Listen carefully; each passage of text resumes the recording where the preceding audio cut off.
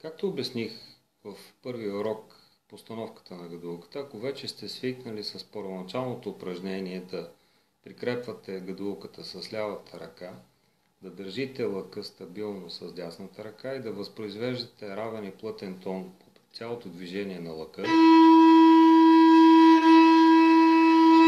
от посока жабка към връх и от връх към жабката, можете да преминете вече към разучаването на първите песнички, които са от начална школа за гадулка. Първите песнички са разработени от професор доктор Тодор Киров и са описани точно в правилния ред разучаването на трайности четвъртини, половини, комбинация между четвъртини и половини.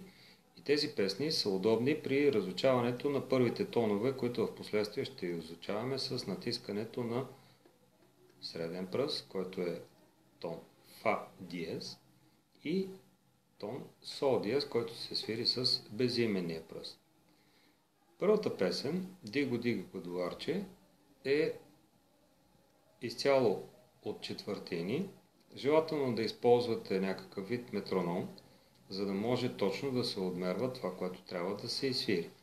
При метронома спазвайте точно два маха, да бъдат в рамките на един лък или една четвъртина трябва да бъде времетраене точно на един лък.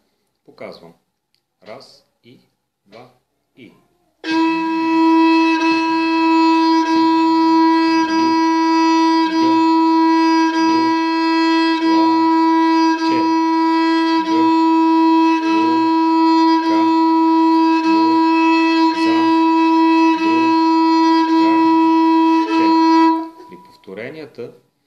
Използвайте различни темпа, но винаги тръгвайте от бавно към бързо темпо, като увеличаването на темпото да бъде в момента, в който усетите, че това, което го свирите в момента, няма изкривяване движението на лъка.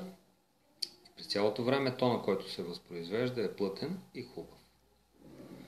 Същите тези песни можете да изсвирите и с постигането на първия тон, който е чрез натискане на струните. Как се постига той? Тук съм направил ни бележки.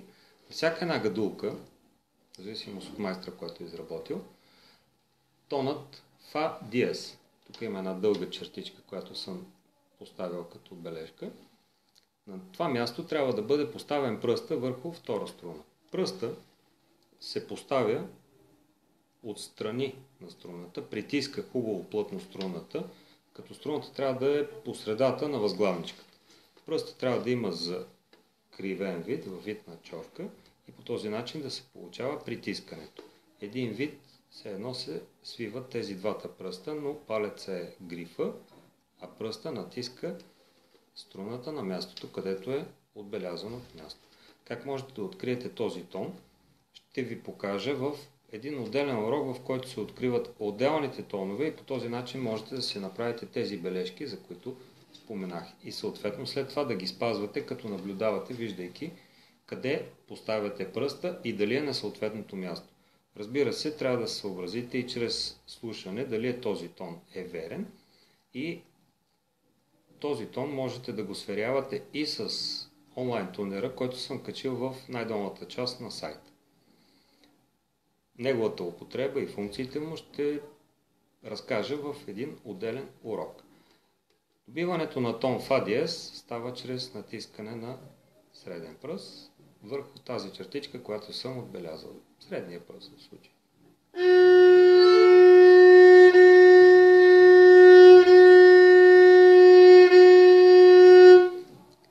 Изрепетирайте, свиряйки всички тези песнички, които са от 1 до 7 с празна струна ми и с тон фа за да може да свикне пръста, да натиска струната и по този начин да възпроизвежда тон.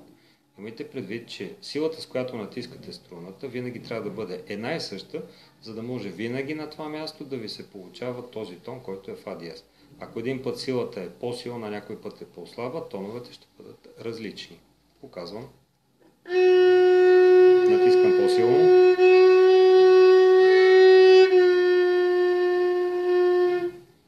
Слаб натиск на струната се получава много неприятен, буквално гъгнив тон, който не е приятен за слушане отстрани. Старайте се пръста посредством възглавничката, която е на пръста, плътно да е натиснал на мястото, на което е от... сте открили, че е въпросният тон. Гадулката като инструмент е уникален с това, че всеки един инструмент, разположението на отделните тонове като звукоред имат различна специфика. Това е зависимост от майсторите, които са изработили инструментите. Няма стандартизация за дължината на грифа в изработката на гадулки в България, както е примерно при цигулки, виолончели, контрабаси. Там има съответно изработени стандарти, които са на разстояние. Тези разстояния отговарят на позициите и това е въведено при буквално векове до ден днешен. При нас, гадуарите, не е така.